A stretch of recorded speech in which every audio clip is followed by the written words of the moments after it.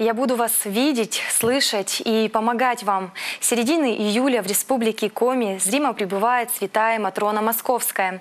Частица ее честных мощей была доставлена в главный храм республики из Анапы, где находится подворье Сыктывкарской епархии.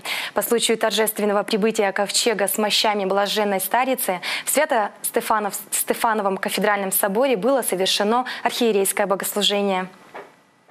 Прихожане и паломники Свято-Стефанова собора молятся вместе с правящим архиереем в ожидании радостного события – встречи святыни, прибывшей в столицу Республики Коми с берегов Черного моря из Анапского хутора Капустин. Слава Отцу и Сыну и Святому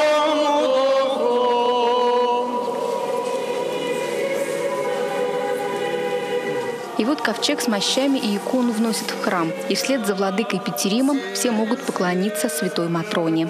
Я очень рада, что собрались люди встретить святую блаженную в честных мощах, приложиться к ним.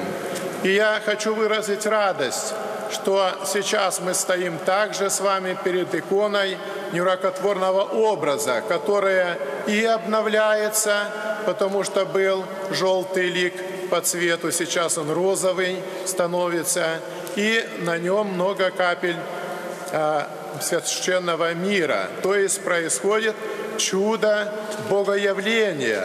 Мощи святой Матроны Московской пробудут в кафедральном соборе до 29 июля, после чего посетят храмы Кируля, Орбиты и Эжвы. 21 августа ковчег с мощами отправится в Воркуту, а оттуда по другим северным городам республики.